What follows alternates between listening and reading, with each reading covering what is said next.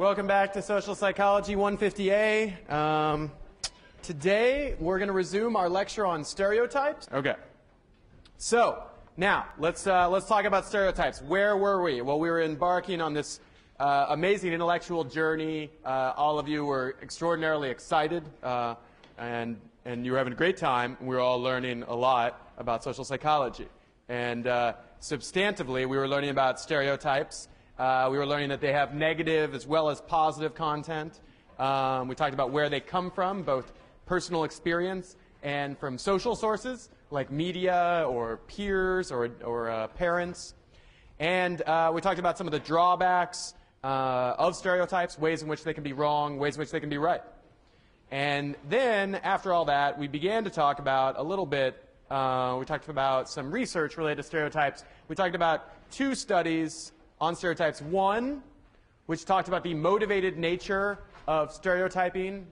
Uh, it's the case that when you're motivated to uh, explain away, say, a bad grade you get in a class or something like that, you're more likely to activate a negative stereotype that can help you uh, come to grips with that negative experience. So, for example, if a female instructor gives you a bad grade in a class, you're more likely to activate a stereotype of female instructors are unqualified and incompetent um, but you don't have that available stereotype to activate for men in this culture, and so you don't do it for men, even if they give you a bad grade. Or you do it less so.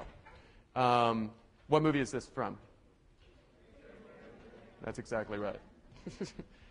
okay. Uh, study two that we talked about was a study called the police officer's dilemma, where these researchers were motivated to try to understand uh, why it is that African Americans are disproportionately the victims of accidental police shootings, or you might say accidental police shootings. And they had this uh, theory that it had something to do with stereotypes, with automatic stereotype activation. And in particular, their idea was that police officers, in the course of their job, have to every day, or maybe not every day, but very often, make split second judgments of whether a target is threatening or not. Much like the judgments you have to make in these video games where you're shooting either hostages or criminals or something like that. Um, and so they said, well, we'll design a video game to test this idea. And in this video game, we'll present people with pictures of white and black targets who either are criminal or are not criminal, and then see if people screw up more often and uh, indicate that they want to shoot an African American person who's innocent, um, and also uh, if they maybe do that faster, if they maybe shoot African American targets faster than white targets. And their reasoning is that in that split second when you see the target, you're trying to figure out if they have a weapon or if they're maybe holding something else in their hand or something. Uh, one thing you rely on is stereotypic, automatic stereotype activations, assumptions that you make about the traits of the target based purely on, in this case, the color of their skin. And because part of the stereotype of African Americans is that they're threatening or hostile, or African American males at least, they're threatening and hostile, uh, if you see an African American male, you'll think threatening and hostile, and you'll be more likely to guess very quickly that they are carrying a weapon. And they confirmed this uh, in a series of studies showing that uh, African Americans in this, in this kind of video game setup were disproportionately the victims of false positives, where people would falsely say, oh, they're, they're an aggressor, they're a, they're a criminal, uh, they're holding a gun, when in fact they weren't. And then one of the big criticisms of this research was, oh, well, they tested this idea that they had on undergraduates who are nothing like the people who are actually on the streets having to make this decision. The people on the streets having to make this decision, or these decisions, are trained for, to make decisions in exactly these kinds of scenarios. And so they're going to be very accurate, and they're not going to make these kinds of mistakes. Uh, so you found just another demonstration of stereotype effects amongst undergraduates, but not one which applies to the phenomenon you be, you're, you're claiming to explain and study.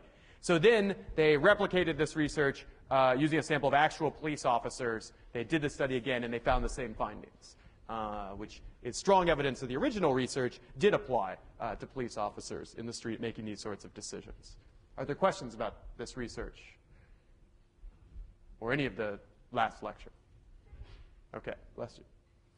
Okay, so stereotype research study three. Here we're just sort of uh, we're just sort of dancing through the meadow of stereotype research. We're just kind of gallivanting around, having a wonderful time. You can imagine us all just skipping and playing in the sun, uh, reviewing research on stereotypes. And so this isn't particularly related to the last one. Um, this is on, we're going to talk about now, we're going to talk now about stereotype threat research, which is a very different phenomenon in some ways, though it's also based on non-consciously held stereotypes, uh, generalizations you hold about people. Uh, they can often have a lot of negative content for socially stigmatized groups. Uh, so who here is familiar with stereotype threat research from earlier classes they've taken or something like that? Okay. So, um, so stereotype threat research is basically the following idea. It's an idea espoused by Claude Steele, who's a psychology professor at, you guessed it, Stanford University. Oh, oh I know.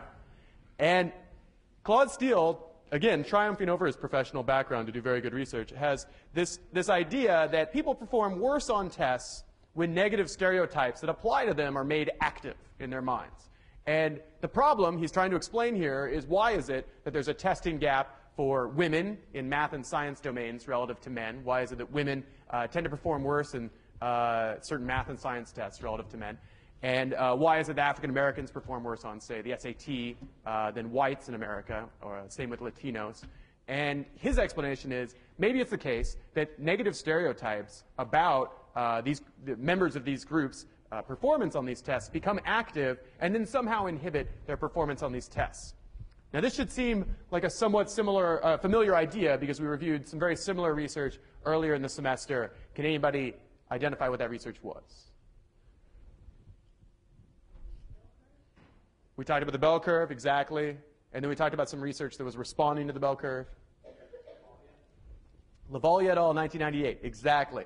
So Lovaglia et al., 1998, had this idea that it's status, right? That if you're a low status group in some setting, uh, then you're going to perform worse on a test uh, just as a sort of self-fulfilling prophecy. Because you're expected to perform worse, you do before, perform worse. That social expectations, the power of the situation, if you will, uh, directs your actual performance.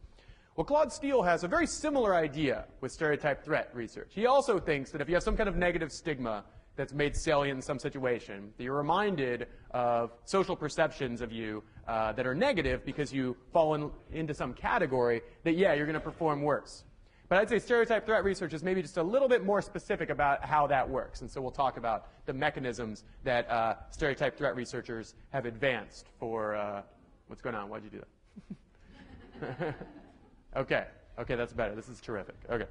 So, Claude Steele had this idea that if African Americans are made aware of their race prior to taking a test, it would lead to worse performance, uh, but that this would not be the case for whites or Asian Americans. Uh, and he had the same idea for women taking math tests. There's this uh, negative stereotype about women's performance in math and science domains. If that's made salient, then women will perform worse on a math test or a science test than they would otherwise, um, even controlling for their actual abilities in the area. Uh, so again, Lovaglia says this is a self-fulfilling prophecy uh, where low expectations uh, lead to low achievement. Um, and Steele wants to push this a little bit further and sort of say, well, okay, self-fulfilling prophecy, but let's really get into the nitty-gritty here and explain this. Perhaps, perhaps it's the case that negative stereotypes become active in your mind uh, in a testing situation. And the reason that they impede performance is because they reduce working memory capacity. And working memory capacity is basically your ability to focus attention on some task while keeping other thoughts at bay or at, at a minimum. So it's essentially your ability to focus, right? And if you've ever taken the SAT or the GRE or one of these standardized tests in a situation where you're bothered by other thoughts, other things are on your mind, distractors in your testing environment, or what have you, you know that if you are trying to hold other thoughts at bay in a testing situation, uh, it can hurt your performance, or it feels like it's going to hurt your performance, right? Um, like when you're bothered by some sort of issues in your personal life, or uh, maybe the person next to you is really distracting, what have you, you're going to probably perform worse on that standardized test because any decent standardized test is going to be reasonably taxing to your, to your mental abilities, right? Um, even if it wasn't, even if you knew all the questions, they put a time limit on it just to make sure that you are stressed out and freaked out. Um, it's clever how they do that. So, perhaps, and this is, this is an idea that Claude Steele had, but also I think good to attribute it to Schmader and Johns, who do this research we're about to review on it.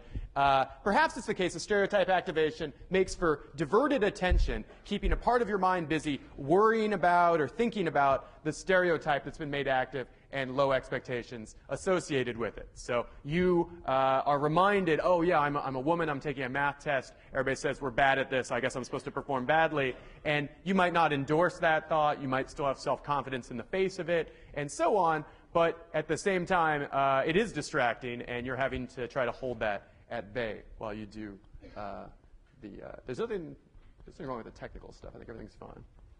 Okay. All right. So. Schmader and Johns went to go test this idea and uh, in 2003, and this is the way they tested this idea, trying to see if stereotype activation would reduce working memory capacity. So Obviously, the first step, what would you do if you're going to manipulate the independent variable, which is stereotypes being salient? That's what they did. They activated a stereotype. They presented subjects with a test that was either presented as a working memory capacity test, uh, which I think it, it was, or they presented it as a quantitative test that women have scored poorly on in the past. So activating a salient negative stereotype that women perform poorly on this test. Okay? And past stereotype threat research has showed that generally women will perform worse on a math test if they're reminded women perform poorly on math tests. Uh, but in this case, they're using a working memory capacity test. It's more of a test. Uh, well, here's how the test worked. The test had people memorize a series of words, then do math problems, and then list those memorized words. Uh, so the test is all about can you hold a bunch of words in your head while you work on some other task and then report those words as accurately as possible at the end. Does this test uh, make sense? Okay. Uh, and so they studied people's ability to perform well on this test. And as you would expect, uh, or as they predicted, female participants did score worse on this me wor uh, working memory capacity test when it was presented as a quantitative test that women are, are bad at. Uh, but normally, uh, women actually did a little bit better than men on this test because uh, they're really smart. Okay, so. Oh no, what's happened? Oh, maybe. Yes, I am.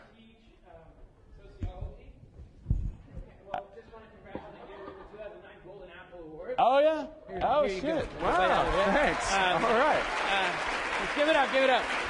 Cool. Yeah. Well, Professor Willer, uh, after a long and tedious process of going through more than 100 nominations to 2009, Golden Apple, you can take a bite after me. Um, uh, just want to congratulate you. Uh, the Golden Apple is the only student conferred award on this campus, uh, nominated by students, given by students, organized by students. And uh, Noah Stern and I, uh, my name is Sammy Averback, uh, as, yeah, we emailed.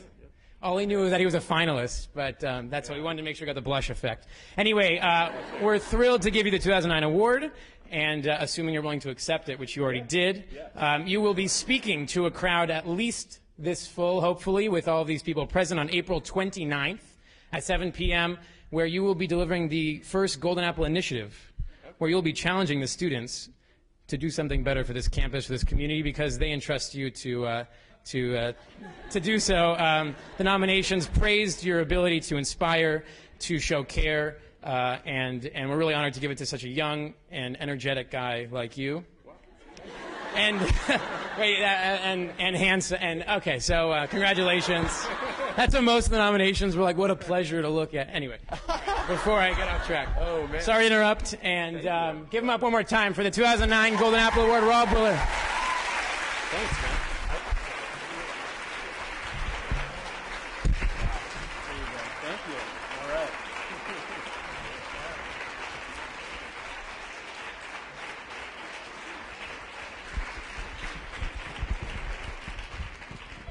Wow, thanks, thanks a lot. Thanks, Sammy. I, it's the last thing I expected to happen. I thought, I thought it was one of those prank things, the, uh, the thing where they come by and prank you in your, uh, in your class. Uh, man, that's amazing. Thanks a lot. That's, uh, it's totally flattering, and I'll do my best to live up to it. Uh, try and give a great lecture for you. Yeah, thanks. Thank you. I don't know if any of you had anything to do with this, but uh, that's totally, totally flattering and surprising. Yes. Yeah. Sure. Yeah, that'd be wonderful. Yeah, make yourself at home. Wow. Whew. Man, I am completely embarrassed now. Uh, uh, okay. Um, Uh, I'm speechless for the first time in my teaching career. Uh, man, that's totally flattering. So they had convinced me that they were gonna that I was a, that I was nominated and that they were gonna come by for like some in-depth uh, grilling interview. Uh, made this especially surprising. Um, so thanks thanks a lot for for listening to me uh, teaching this semester. I appreciate it. Um, it takes two to tango. So uh, okay. Uh, back to the relentless negative effects of stereotypes and stigmas in uh, society and everyday interaction.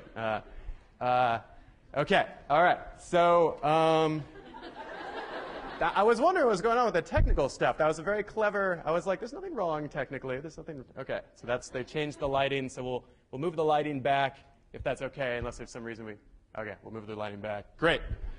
Okay, um, back to social psychology. So.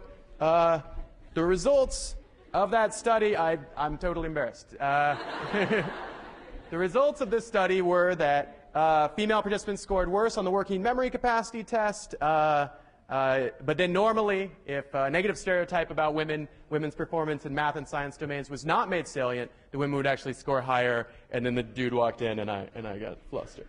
Uh, so then they conducted a follow-up study because they wanted to say this isn't just about gender. This isn't just about women in uh, math and science domains, it's general to any domain where a negative stigma or stereotype could be made salient in that domain and then impede performance. So what they did was they replicated the study using white and Latino participants. Uh, this is at the University of Arizona. And they, uh, in one condition, they just gave participants a test. Um, and in another, with the same test, the working memory capacity test. In another condition, they told participants the test was diagnostic of intelligence and would be used to assess uh, different groups of people. Uh, so it's this kind of very vague, sort of subtle suggestion uh, that, that, that somehow this test is going to be used to assess, like, you know, how smart are Latinos versus whites and whatnot. And uh, so this is very, very subtle. Oh, and they're also asked to report their ethnicity. So they have to report their ethnicity, they're reminded of their ethnicity, and then they're told, we're going to use this test to, like, find out, you know, how smart different groups are. So kind of, you know, whether the whites or the Latinos are going to score higher. This is very subtle, right? This is very subtle. It's not saying Latinos score worse on this test. It's just saying, hmm, what's your ethnicity? Hmm, you know, and then we're going to try and assess, you know, your group, whatever group that is, against these other groups. So the results, as you might guess, uh, because that is a stigma, or that does feel like a subtle activation of a stigma, is that Latinos scored worse on the test when it was presented as diagnostic of intelligence, asked to report their ethnicity, and told that it'll be used to discriminate between groups. Um, though normally Latinos did a little bit better than whites did on the test. Um, again, because they're really smart people. So Latinos reported more anxiety and perceived the test as harder in the threatened condition. So uh, when Latinos were told, like, put, when the pressure was put on them, they were like, well, I'm, I'm, I'm feeling the anxiety you're trying to create, and this feels like a harder test. And of course, the test was a test of working memory capacity, and they performed worse on it. So all of this is kind of giving us this sense of what's the mechanism? What's the underlying mechanism that drives uh, these effects? And what it seems to be in this research is uh, that working is this working memory capacity thing, but it's also you kind of get this cluster of emotional reactions too. That they're feeling anxious, they perceive the test as harder, they're distracted, trying to keep these stereotypic thoughts at bay, which is reducing their working memory capacity, which is the kind of thing that would be very useful to have on a test of this sort. And then finally, they conducted a final study, Schmader and Johns, 2003 did, and in this final study they showed that the effective stereotype threat of making salient some stigma and its negative effects on your subsequent performance, that it's statistically mediated by reduced working memory capacity. Now, what the heck is Robb talking about? Statistically mediated. I haven't warned you about this term, I don't think. Have I talked about mediation? Not really. Okay. So Mediation, when a variable mediates some relationship between other var variables, it means that it is an intervening variable which drives the effect. So when I say that working memory capacity mediates the effect of stereotype threat on test performance, what I'm saying is stereotype threat, uh, stereotype threat effects on test performance operate through working memory capacity. It is the uh, intervening variable. In other words, there isn't a direct effect of stereotype threat salience on performing poorly on test, the effect is stereotype threat is salient, it's distracting, reduces your working memory capacity, and then your reduced working memory capacity reduces your performance on a test. Uh, does this make sense? And this is a powerful concept, right? Because we often think when we've identified a mediator that we've sort of explained something, right? Like we already knew from a lot of research that stereotype threat effects uh, reduce, or stereotype threat reduces test performance. That when a stigma is made salient in some domain, you perform worse in that domain. But we now sort of feel like it's been explained, right? Like that we know the variable that's driving that effect. And that is, in this, in this research, working memory capacity. Other research suggests other intervening variables, and so this probably isn't the only reason why the salience of a negative stereotype in some domain will reduce your performance in that domain, but uh, it, is, it is one explanation and supported by good research. Questions about this? Okay. Really? No questions? All right. Okay. So some larger conclusions based on this stereotype uh, lecture. So stereotypes can have many negative effects. Uh, more unfairly negative views and treatment of others. Uh, stereotypes can lead to that. Also uh, can lead to unfairly positive views. You may make positive stereotypic assumptions about people that don't apply to them, uh, that they don't deserve. Uh, also, stereotypes, when active, can impede individual achievement. So it's the case, this the stereotype threat component of the lecture, it's the case a stereotype threat can affect your social perceptions, your perceptions of other people, their perceptions of you, but they can even affect the way in which you perform, even when no one's really around. You know, when you're in a testing situation and you're, you're pretty much dialed in, just you and your test, stereotypes, which we think of as a social phenomenon, can still invade and, and have negative effects in this domain. Uh, we also found that intergroup contact can reduce stereotyping. Um, yeah, which we found an example of in the police officer's dilemma. And lots of research has supported this since it was first proposed in 1954 by Gordon Allport in his book, The Nature of Prejudice. Intergroup contact, interacting with other groups of people for which you have some kind of stereotypic association, can undermine those stereotypes. Why? Because you develop a more nuanced and complex view of the members of that group. Yes, sir.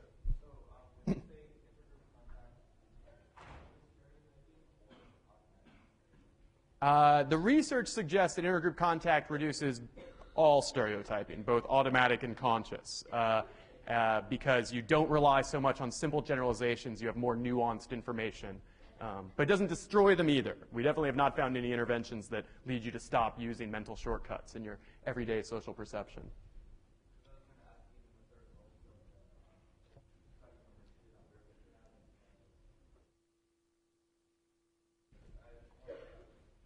Right. No, I remember the question. The same, the issue you brought up at the last lecture, right?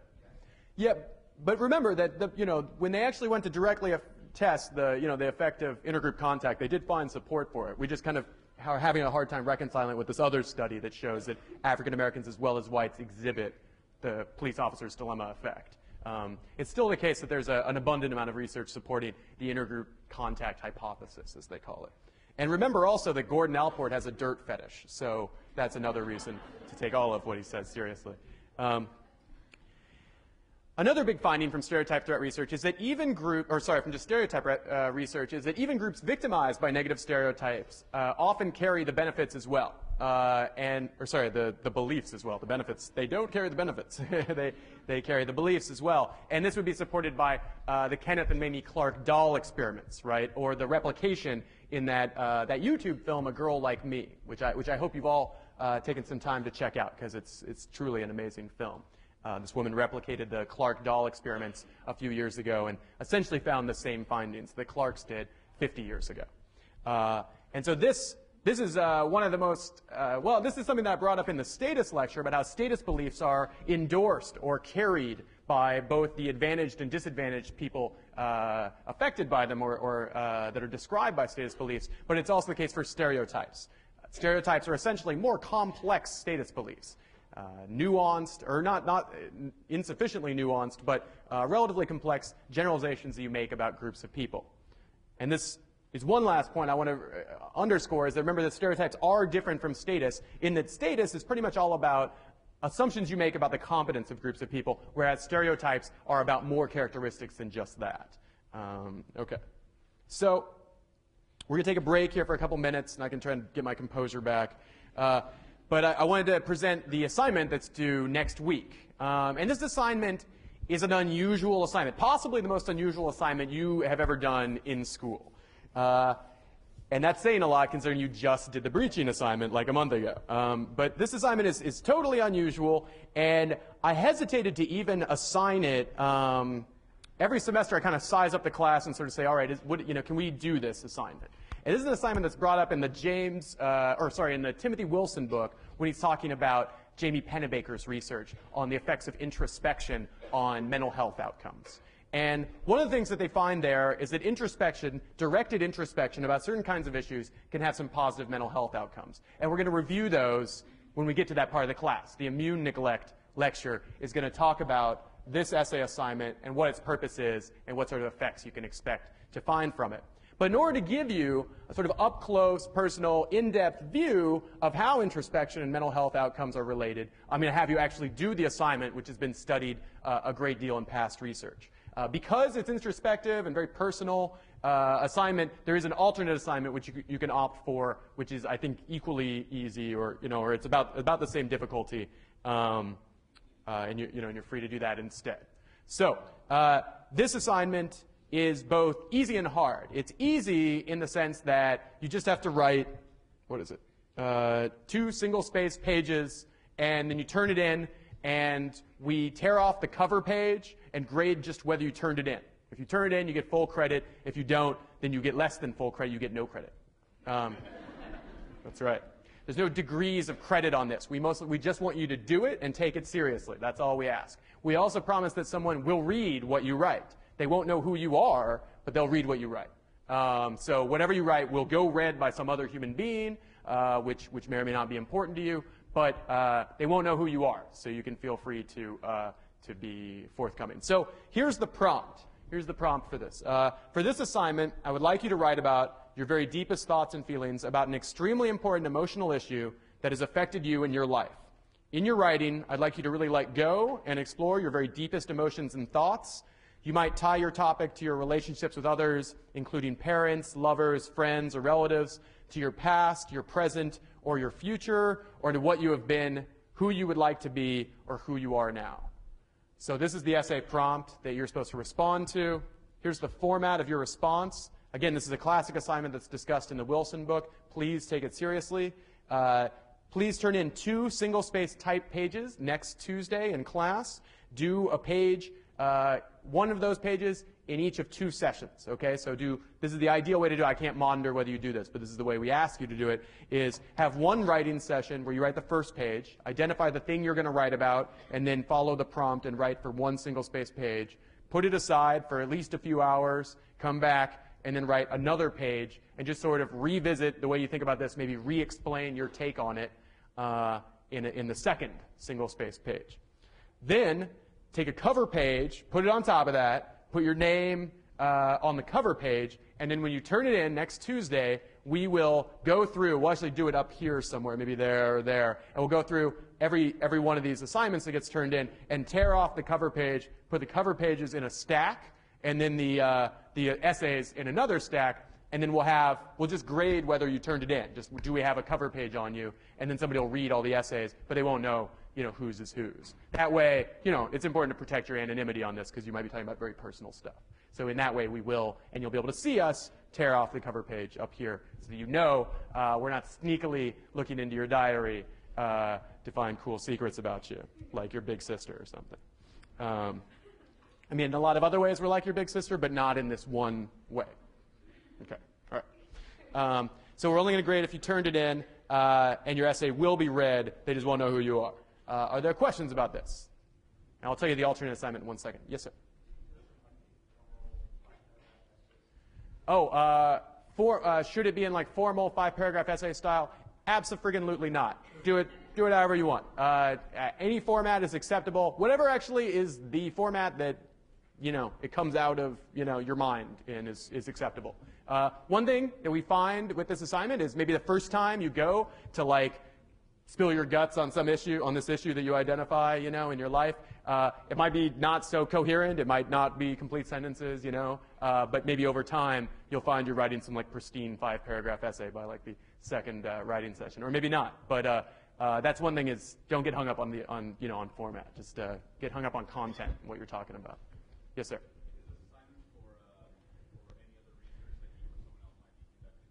No, no. Is, the is this assignment related to research? It is not. There's no one, no one will do any research on, on your, the contents of your essay. Yeah. That, that's an excellent question. Glad you asked that. Uh, no, it's purely like a didactic exercise to get you uh, to really take home the point uh, from the immune neglect lecture and from this section of the Wilson book. Uh, yeah, yeah. Yes?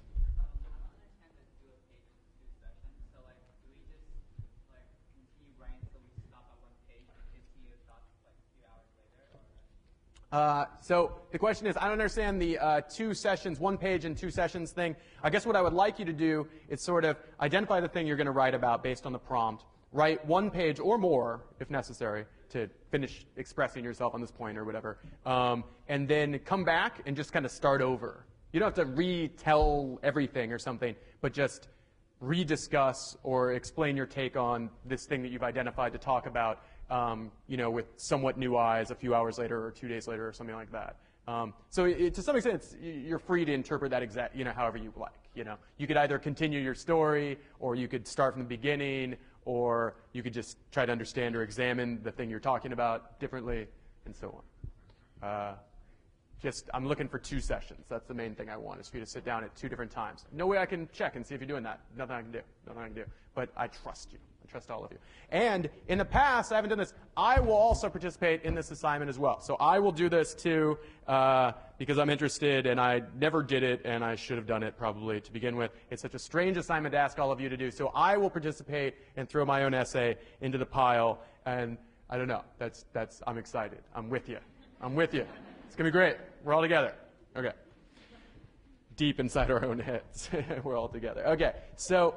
Uh, the alternate assignment, if you're for any reason uncomfortable doing that assignment, uh, then feel free to do this alternate assignment, which would also be due next Tuesday. And that would be read Habits of the Heart, Chapter 1, uh, which is a book that was written by several Berkeley sociologists and, and, a few people that weren't Berkeley sociologists, but it was written by Bob Bellah and Ann Swidler. Anybody taking a class from Ann Swidler?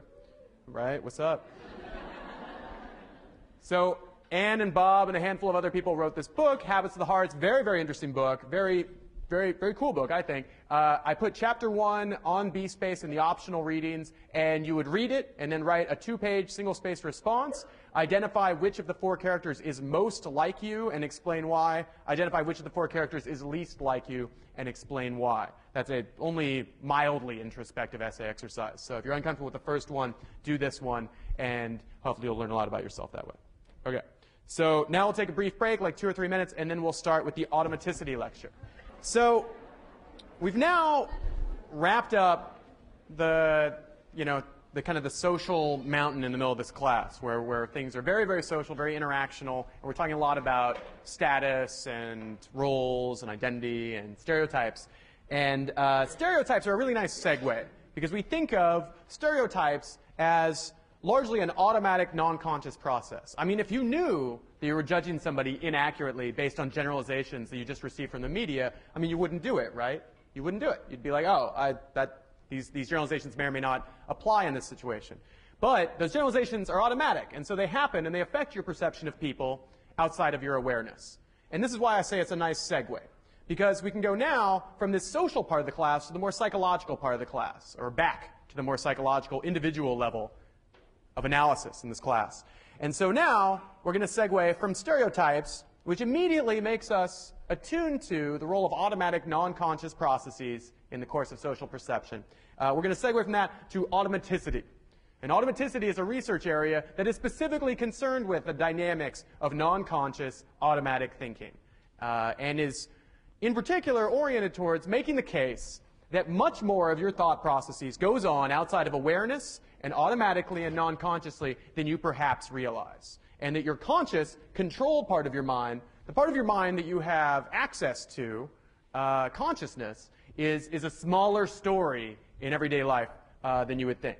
And what metaphor does Jonathan Haidt use to describe this, this duality, this dichotomy?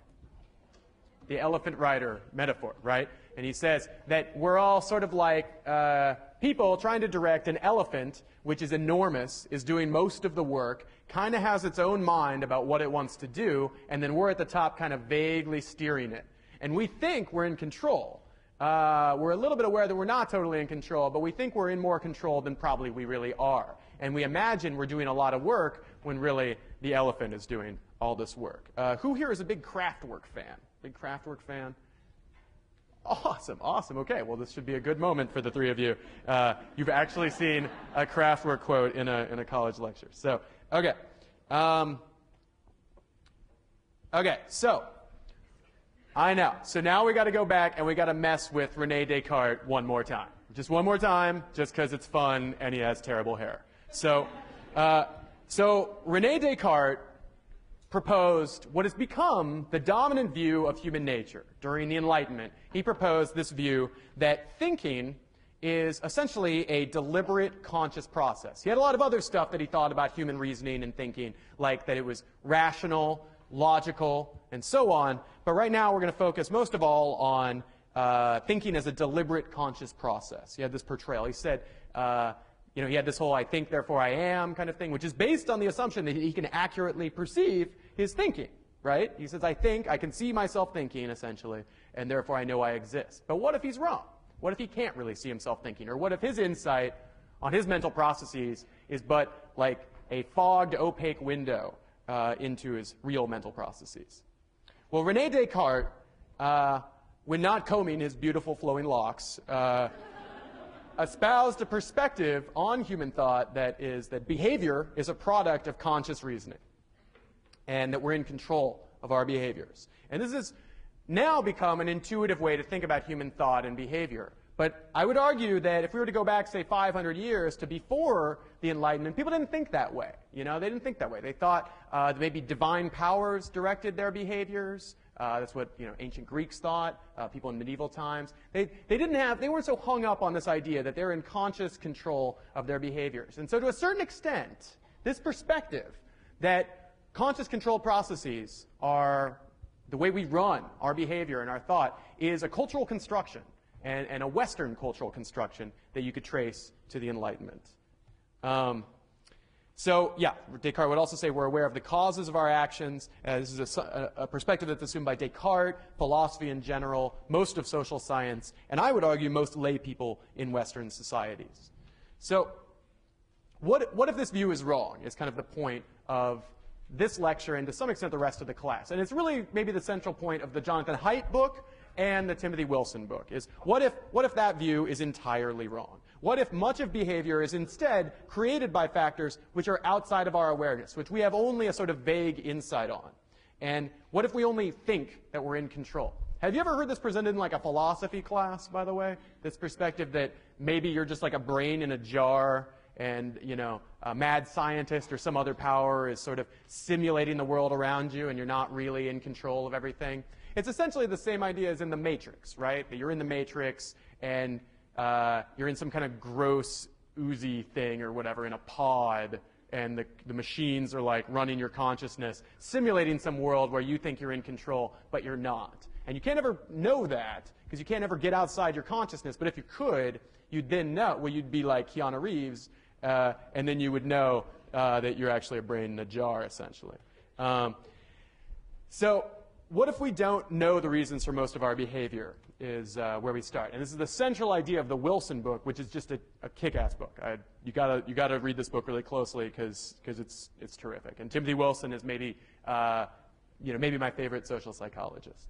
So Wilson kind of cut his teeth coming up through the ranks, working with this guy Richard Nisbett at you got it Stanford University. Yeah, I know, I know, right in the 70s. And uh, there's nothing wrong with the 70s. Uh, and they had a central thesis that they put forward in a review article uh, that was published in 1977 that to this day is one of the, the best works of social psychology. It's a review article, and what they wanted to do was review research that all kind of converged on the suggestion, the, the big insight that we have limited access to our mental processes. We have limited insight on the causes of our behavior. And what they called the paper was Telling More Than We Can Know, uh, which is a title that sort of sums up this idea that if you ask somebody, you know, why'd you do that? Or what are the causes of your behavior? They're just not necessarily going to know the right answer. And their article was reacting to the common sense assumption that many of us make that you can just ask people why they behaved in some way uh, that they did, and then you can trust what you hear back from them. that what they're going to tell you corresponds in some meaningful, uh, perhaps even totally accurate way with the real causes of their behavior. In other words, they are reacting to this idea that you can rely on self-reports to understand people. And this is an assumption that's common in interview methods. A lot of people use interview uh, empirical research methods. Assume you just go up to people and say, you know, hey, why did you know why did you participate in that revolution? And they'll tell you, oh, this is why. And what they'll tell you is exactly right.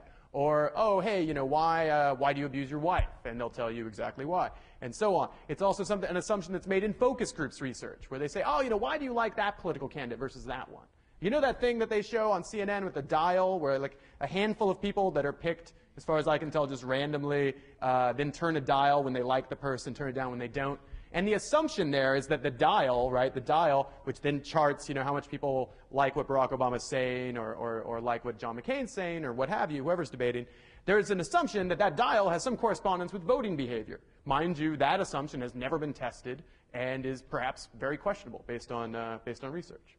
But this assumption that self-reports are reliable insights on the causes of behavior uh, is also made in surveys and experiments all the time. And that was kind of Nisbett and Wilson's position was, you guys, you, you have these fancy experiments and you're going to great, great lengths to conduct really, really rigorous research, but then at the end, you're just asking people, you know, why did you do this? You know, and you're often trusting what they say. And what a silly idea that is.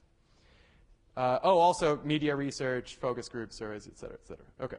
So, Nisbett and Wilson reviewed a huge literature from social psychology, uh, which showed that people have little insight into the causes of their behavior. Uh, and what they found was this is, and this is worse really, is that people won't even tell you when they don't know, right? If you ask people about the causes of their behavior, why'd you do this? They're always going to tell you something, right? Because people don't want their behavior to come from you know, randomness or non-conscious factors. They want to imagine they're in control. We all want to imagine we're in control. And so we always think we have some reason for our behaviors. The problem is, most of the time, we seem to be just kind of coming up with it after the fact upon being asked.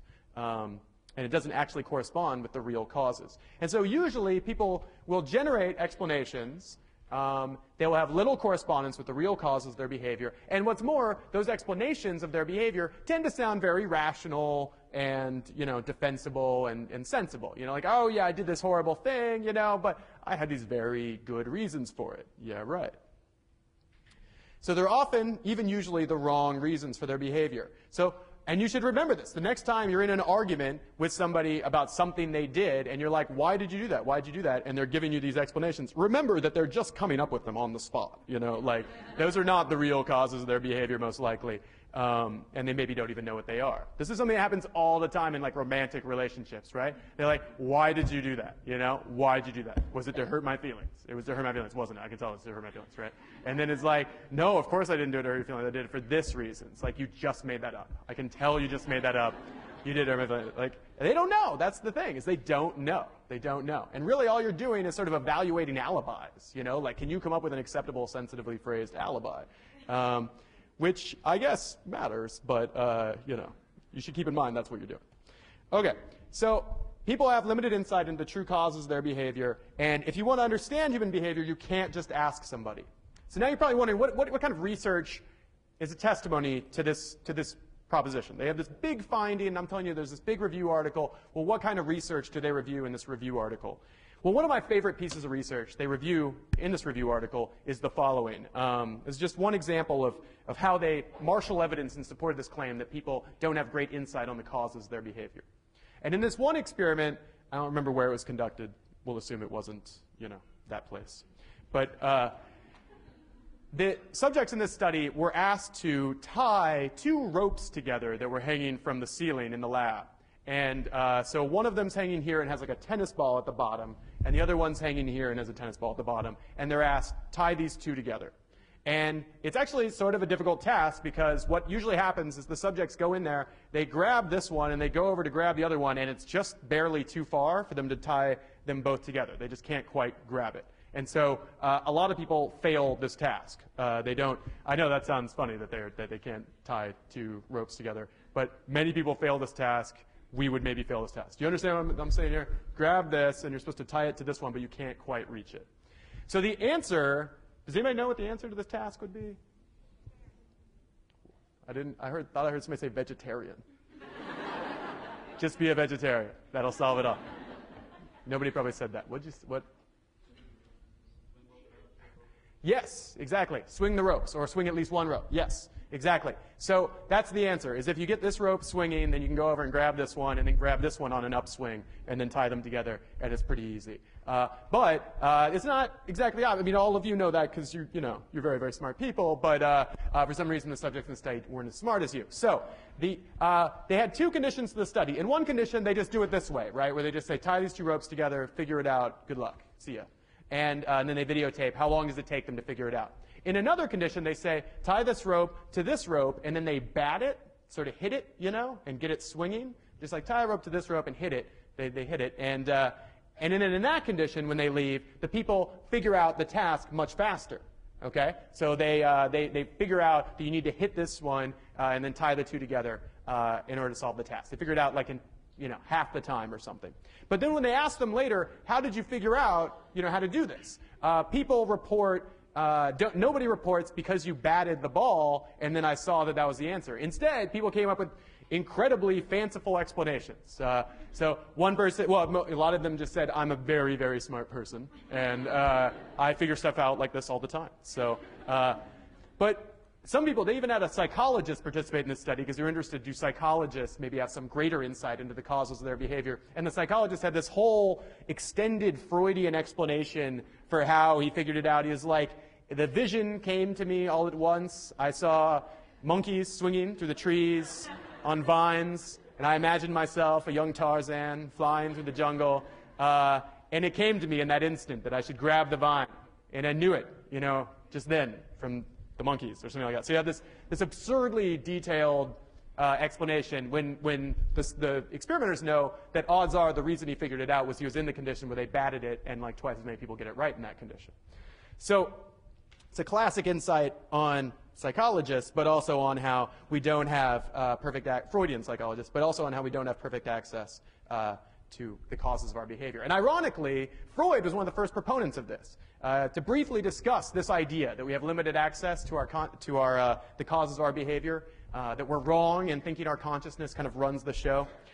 Originally in psychology, the uh, there were kind of two strains on, on how you would do research. One was the Freudian strain. This is the late 19th century, early 20th century. And the Freudian st- strain said deep, deep introspection that's carefully analyzed by a very smart psychotherapist will lead, will reveal the causes of your behavior. And, but the thing is, you can't take anything somebody says at face value because, in fact, behaviors are directed by unconscious causes. You know, and Freud is believed in some ways to invent the concept of the unconscious. Now, in fact, people knew about the unconscious before that, but in a lot of ways in academia, he sort of brought this concept to the fore. Uh, but there was a, another line of research, which we don't talk about very much, that was common in the 1890s called introspection research, where again, you would ask people to introspect, sit in a very comfortable chair, and introspect. I'm not even joking about that. They had this whole thing about the science of comfy chairs, and they were like, it has to be a very comfy chair, very comfy chair. And this guy Titchener at Cornell University used to do this research, and in that research, they would just take whatever you said at face value. They didn't do some kind of deep analysis of, well, well what do they really mean, you know? And when they say pillows, that's obviously breasts or whatever, you know? They didn't do this. They, instead, they said, oh, you, you say this causes your behavior. Okay, all right, I'm going to just take it at face value. So then the behaviorists come along in the early 20th century, led by like John Watson, B.F. Skinner, and so on, and they said, uh, this is rubbish. You guys are all just asking people what caused their behavior. Uh, some of you are Freudians, and you're like trying to analyze through the cracks of what they said, and you're inventing these weird theories about mother fetishes and so on. And then, and uh, then the other group of you are just asking people what caused their behavior, and then you just take that at face value. That's not scientific at all. We're going to just eschew all self-reports. We're going to completely ignore self-reports and only study behavior. And we won't even think of people as having internal mental states or consciousness. We're just going to, we don't know how to study that. We have no access. We can't go in and take a picture of your thoughts. So we're just going to look at your behavior and analyze your behavior. And behaviorism, because it, partly because it was in reaction to some kind of crappy research, lived and, and thrived and dominated psychology for some 40 years. But then there's this rise, especially of social psychology, um, but also some other theoretical strains that came along and rejected behaviorism and said behaviorism is too narrow, it's too simple, its theory of human behavior uh, is based on you know like three propositions. It doesn't cover the breadth, uh, richness, and diversity of human behavior, and we just need more a more complex approach. And then gradually, gradually, we got the rise of the belief in the unconscious to come back in psychology uh, until we get to automaticity in the 90s, which goes, uh, goes nuts with this idea, basically, like takes it to uh, a greater extreme than had been taken ever uh, since, since Freud, at least. Okay, so we're talking about how people have limited awareness of the causes of their own behavior. So this brings us, I think, to the thin slices literature. Who's familiar with the thin slices literature? Thin slices research. Okay, cool, because this stuff is cool.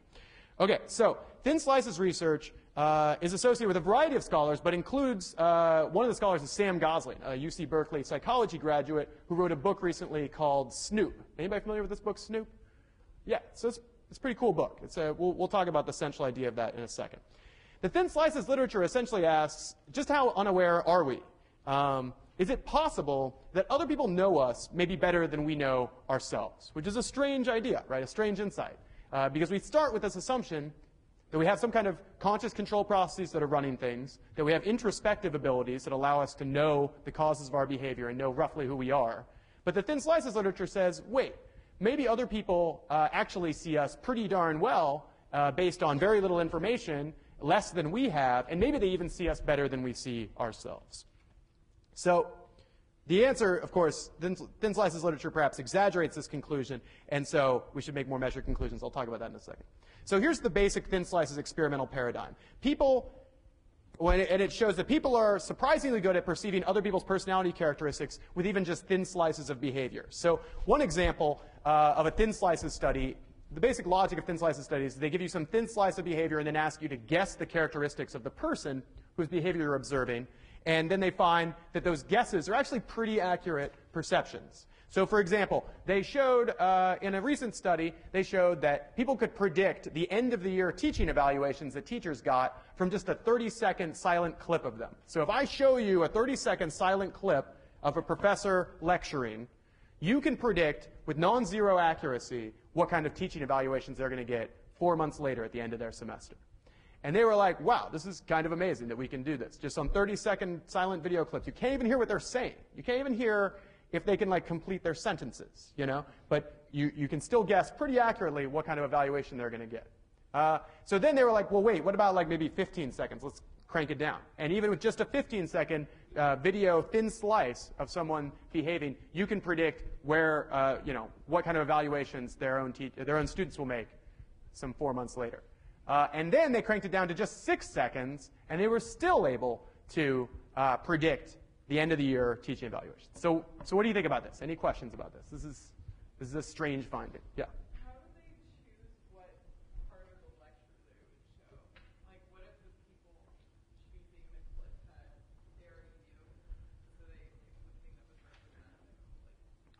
Right.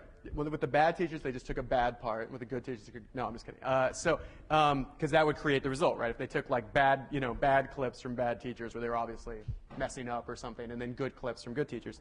Uh, I think they did it pretty randomly. I don't know. I think they were, I, knowing psychology, they probably had to do it really randomly, but I don't, I don't remember the methods section of the paper. Yeah, David.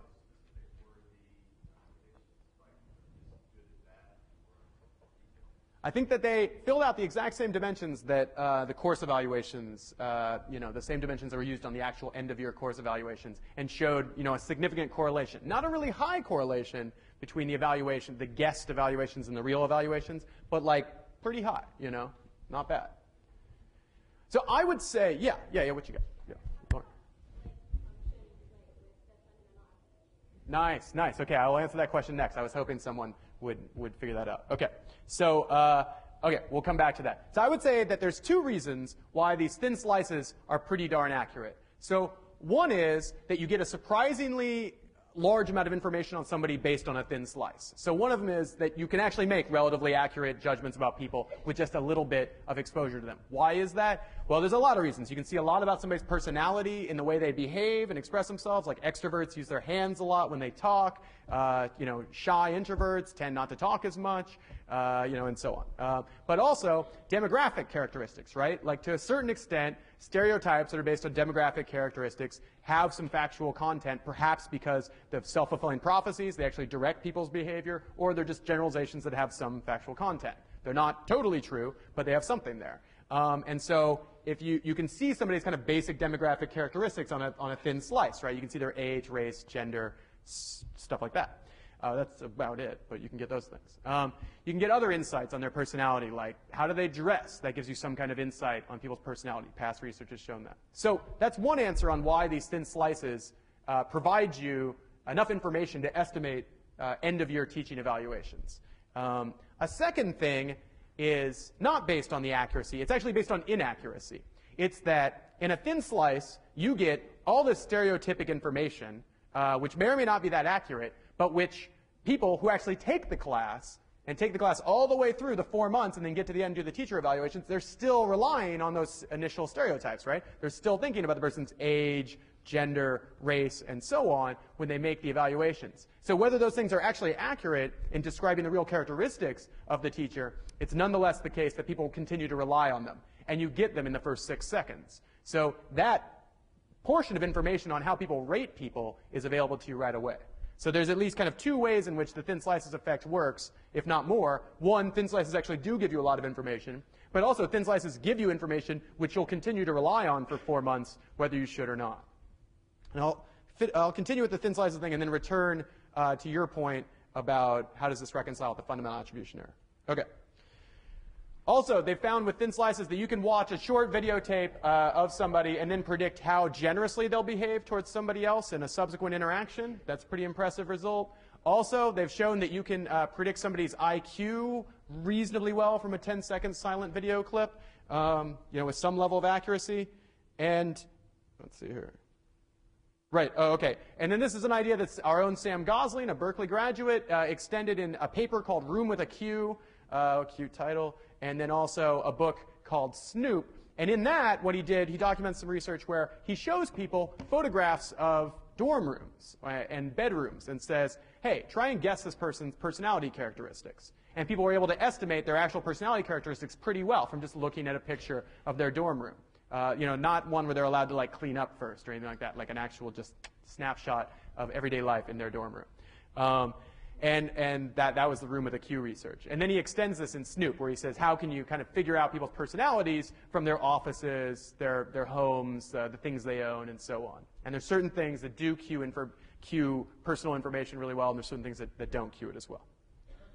Okay, and perhaps one of the weirdest findings from this thin slices literature is that in some cases, like for some characteristics, extroversion and IQ are examples, people can rate targets uh, with just a thin slice, like a 10, 15 second silent videotape, they can rate the targets more accurately than the targets can themselves, which is totally weird.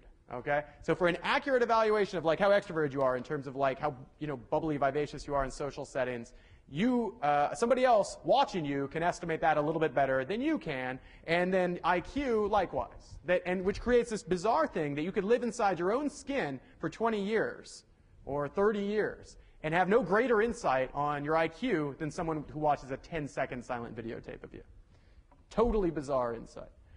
Now, there's some specific reasons for the IQ result, right? And the extroversion result is that there's social desirability issues, right? Like you want to believe your IQ is as high as is plausible for you to believe it to be. Uh, motivated reasoning, right? The above average effect and so on. So we know there's some specific biases in some of these domains where you want to be higher, you want to be more valued uh, on those characteristics. And as a result, you maybe systematically overestimate, whereas an observer wouldn't do that.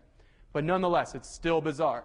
10 second silent videotape, they don't even know what you're saying. How can they guess your intelligence at a non zero level? But they can.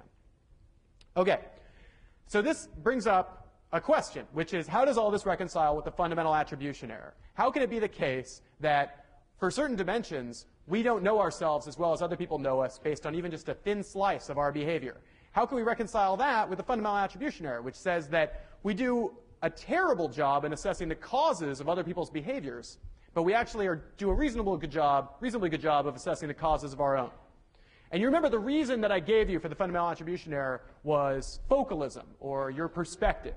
That when you go to assess the causes of other people's behaviors, what do you do? You see them, right? You see them behaving, and so you say, oh, they made that happen. But when you go to make the assessment, the attribution of the causes of your behavior, what you see is you, uh, uh, oh, sorry, you don't see yourself, you see your environment around you. And so it's easier for you to make an attribution to your situation or your environment. But I think that this thin slices literature maybe gives us even just a little bit more insight. I would say these, these findings can be reconciled a little bit. And I think that thin slices findings give us a little bit more insight on how the fundamental attribution error works. So one is Nisbett and Wilson 77, and this, these thin slices findings suggest we don't know ourselves that well. Maybe in a situation we could, accept, we could uh, assess the cause of some behavior pretty accurately because we can see the environment around us and we can't see ourselves, so we're sort of hampered from making that attributional bias. But in general, we don't know ourselves nearly as well as we believe we do or we might like to. So as we're, and to a large extent, when we go to understand other people, we rely on our understandings of ourselves, right? We say, oh, okay, I know how I think, how I behave, the causes of my behavior, and so I'm going to just sort of um, project that onto other people and assume that they think about the same way. So the fact that we have very poor insight on certain characteristics, extroversion, IQ are examples, is part of the reason why we have poor insight on other people, um, because we just don't start with a good baseline from our own behavior. Um, but a, a, second, what was the second one going to be? Oh, boy. Um, oh, yeah, okay. A second reason uh, why these findings are reconcilable is, remember, the fundamental attribution error is in part about how we don't perceive others very accurately. And the thin slices literature isn't so much about how we perceive others really accurately as it is that we get a ton of the information we'll ever use in judging them in the first few seconds. That's kind of the finding.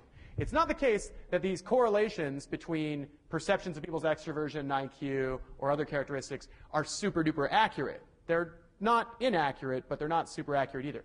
But what's most interesting, or the main finding from thin slices, is that you're never going to have that much different or that much more nuanced or that much more accurate views of people with four months more of information than you had after 30 seconds. So one of the insights of the thin slices literature is you rely way, way, way too much in your perceptions of others on, on first impressions. Uh, so that's, that's why the two, I think, are reconcilable. Thin slices literature is saying, among other things, First impressions are really sticky. You rely on them too much. You rely on them forever. But then also that, uh, and so that works pretty well with the fundamental attribution error, which says you don't perceive others that accurately. Well, you're probably not going to if you over rely on how they behaved in the first 30 seconds you knew them. Yeah.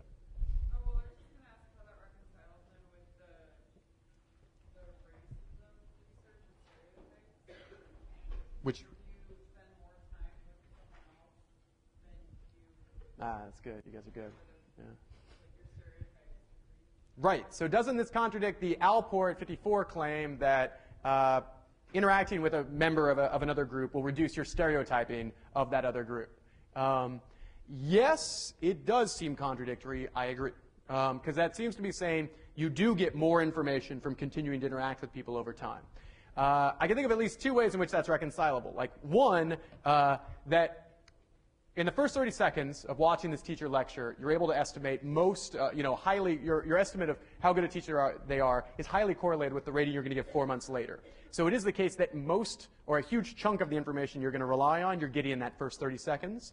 But there is still more information that you do rely on. It's not a perfect correlation.